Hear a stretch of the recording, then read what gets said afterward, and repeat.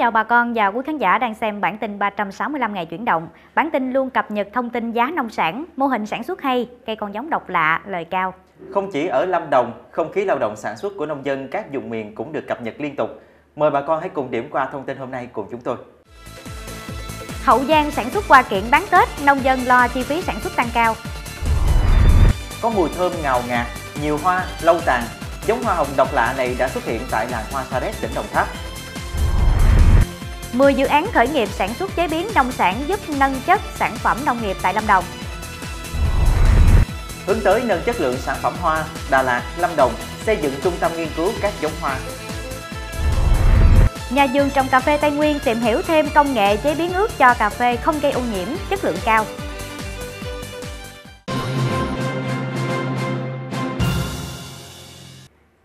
Hoa kiển không phải là cây trồng chủ lực thế mạnh của nông dân tỉnh Hậu Giang, nhưng mà Tết đến xuân về thì nhà vườn cũng à, muốn à, thử sức trồng các loại hoa để mà bán Tết. Chỉ là mùa vụ nhưng mà bà con à, trúng giá hoa thì cũng có được một mớ tiền rủng rỉnh túi để ăn Tết. Năm nay có lẽ bà con sẽ lo lắng nhiều hơn bởi vì chi phí sản xuất hoa như là phân, rơm, tro đều tăng cao cả. Nếu mà không đạt năng suất và được giá thì cũng khó ăn được. Bà con Hậu Giang chủ yếu là sản xuất hoa truyền thống. Hiện nhiều hộ dân trồng hoa ở khu vực 1, phường 4, thành phố Vị Thanh đang tất bật làm đất trộn phân để chuẩn bị xuống giống qua Tết, chủ yếu là hoa dạng thọ. Theo người trồng, năm nay phân rơm phân tro giá cao gấp rưỡi so với mọi năm. Nhà vườn lại thay chậu tre bằng chậu nhựa để tiết kiệm thời gian và đáp ứng thị hiếu người tiêu dùng, cho nên chi phí sản xuất đội lên. Bình quân mỗi chậu hoa thành phẩm tăng hơn 1.500 đồng so với năm trước Dự kiến khoảng ngày 20 tháng Chạp âm lịch sẽ có hoa dạng thọ, cúc, cát tường chào thị trường, số lượng hàng ngàn cây một hộ. Thưa quý khán giả và bà con nông dân, hoa hồng có ý nghĩa tượng trưng cho tình yêu và vì cái vẻ đẹp à, rất là ngọt ngào mà hoa hồng được nhiều người mê mẩn. Và gần đây thì loài hoa này lại có nhiều chủng loại và màu sắc nên càng thu hút sự chú ý của khách hàng. Đến với làng hoa Sa Đéc Đồng Tháp thì à, anh Tuấn Anh sẽ có nhiều sự lựa chọn về các cái giống hoa hồng hơn.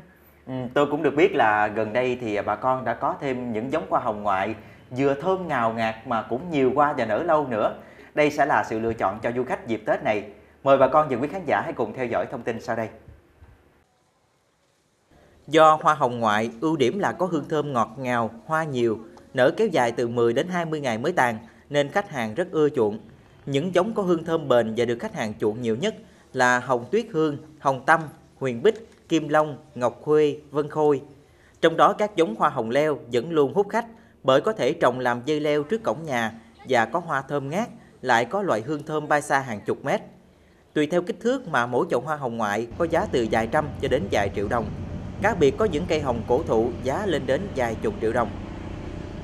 Ngoài giống hồng ngoại thì ở Sa Đéc vẫn còn lưu giữ hàng chục loại giống hoa hồng truyền thống đang được bảo tồn và phát triển như hoa hồng nhung, nữ hoàng, hồng lửa, cánh sen, đỏ, hồng phấn, sông hỷ, cam gai. Đặc biệt là giống hồng tỉ muội nhỏ gọn, ra qua quanh năm đang được bà con nông dân trồng nhiều để bán cho khách tham quan. Từ lâu làng hoa Sa Đéc được biết đến là dừa qua của khu vực đồng bằng sông Cửu Long, cũng là nơi nổi tiếng với những giống hoa hồng. Việc còn lưu giữ những giống hoa truyền thống kết hợp với hoa hồng ngoại như thế sẽ càng làm phong phú và đa dạng cho làng hoa, giúp cho nông dân nâng cao giá trị kinh tế hơn. Dự kiến thì năm nay, nông dân à, làng hoa Sa Đéc sẽ tung ra thị trường hàng trăm giống hoa hồng các loại để phục vụ thị trường Tết. Sắp đến Tết rồi cho nên nhiều loại nông sản cũng tăng giá trở lại do nhu cầu cao. Thông tin cây có muối tăng giá đang khiến cho nhà vườn vui vẻ chăm sóc, o bế trái để đón Tết. Và trên địa bàn huyện Phụng Hiệp tỉnh Hậu Giang những ngày qua nhà vườn à, bán cam sành tại vườn giá 6.000 đến 9.000 đồng một ký tùy loại đã tăng à, từ 3.000 đến 6.000 đồng một ký so với thời điểm cách đây khoảng một tháng. Bưởi da xanh thì ở mức 35.000 đồng một ký loại 2 và 40.000 đồng một ký loại 1.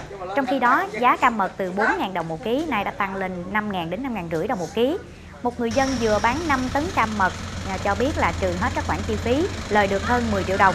Mặc dù là giá cam đã tăng trở lại nhưng mà bà con cho biết à, là không còn nhiều cam để bán cho thương lái bởi vì hiện nay đang vào thời điểm cuối vụ. Mặt khác thì nhiều nhà vườn đang dưỡng cây dưỡng trái chờ bán vào dịp tết. Cây có muối được ưa chuộng trong những ngày nắng nóng, được nhà vườn ở miền Tây trồng nhiều nên có lúc dội chợ rớt giá. Riêng ở tỉnh Lâm Đồng thì bên cạnh phát triển diện tích cây có muối thì để đáp ứng nhu cầu của thị trường mùa nắng nóng sắp tới, nông dân à, đang phát triển à, cây chanh dây đó anh Tuấn Anh. Nhà vườn trồng chanh dây ở Lâm Đồng đang tập trung các giải pháp như là đầu tư, chăm sóc cây trồng.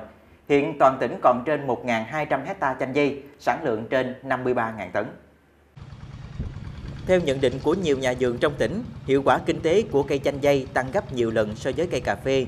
Đặc biệt, thời gian gần đây, một số chuỗi liên kết sản xuất đã được các hợp tác xã trong tỉnh đứng ra thành lập, vừa hỗ trợ quy trình sản xuất, vừa cung ứng vật tư đầu vào, nguồn giống và bao tiêu nông sản, đã giúp bà con nông dân yên tâm đầu tư, nâng cao chất lượng nông sản. Hiện nay, nhiều nông hộ đã tập trung đầu tư trồng chanh dây theo hướng hữu cơ nhằm đảm bảo chất lượng, ổn định năng suất cung ứng cho thị trường, nhất là thị trường châu Âu. Kính thưa bà con, một số mặt hàng chủ lực của Lâm Đồng đang giảm giá mạnh so với cuối tuần qua, như là cà chua và nhiều loại qua. Sau đây là giá một số loại rau củ và hoa các loại ở tỉnh Lâm Đồng được phóng viên chúng tôi ghi nhận. Hiện nay, ớt sừng do khan hiếm hàng nên giá tăng, giá 16.000 đồng một ký tăng 6.000 đồng. Còn lại cà chua 8.000 đồng một ký, giảm 9.000 đồng một ký.